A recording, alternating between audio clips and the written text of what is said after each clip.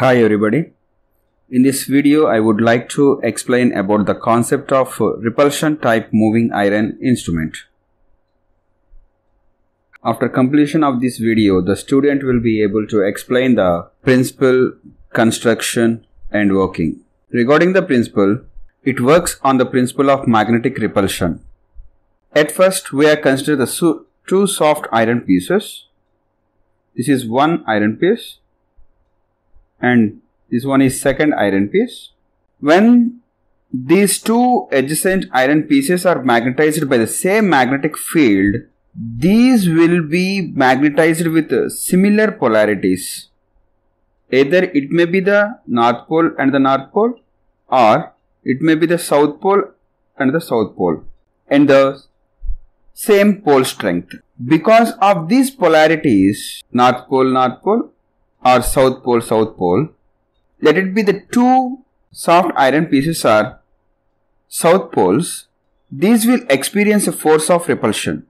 Observe here these two soft iron pieces it is exhibiting the magnetic field of the same polarities south pole and south pole. When we move together there is a repulsive force exerted between these two iron pieces. Then coming to the construction it consists of a fixed cylindrical hollow coil inside which there are two soft iron pieces A, B.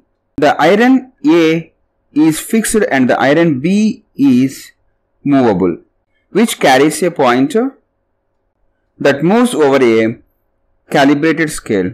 The controlling torque is provided by one spiral spring at the top of the instrument. The damping is provided by air friction damping due to the motion of the piston in the air chamber. The working of this moving iron repulsion type instrument is when the instrument is connected in the circuit, measures the operating current, flows through the coil, it produces the magnetic field.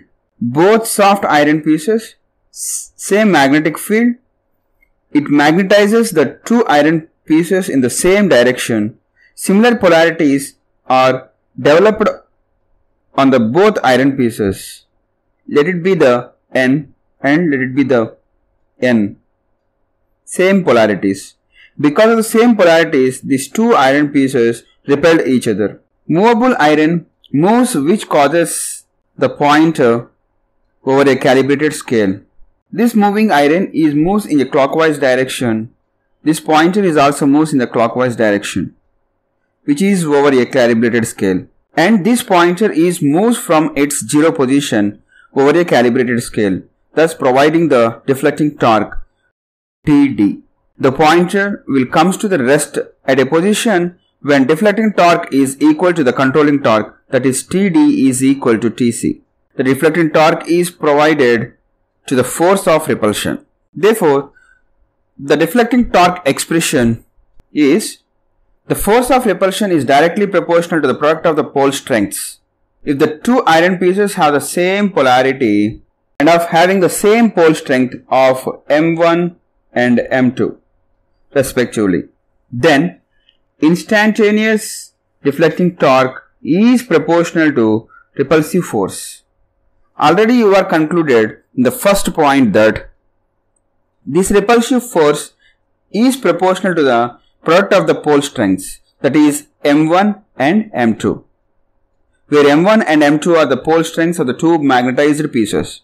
Since pole strength developed are proportional to H, therefore deflecting torque Td is proportional to H square.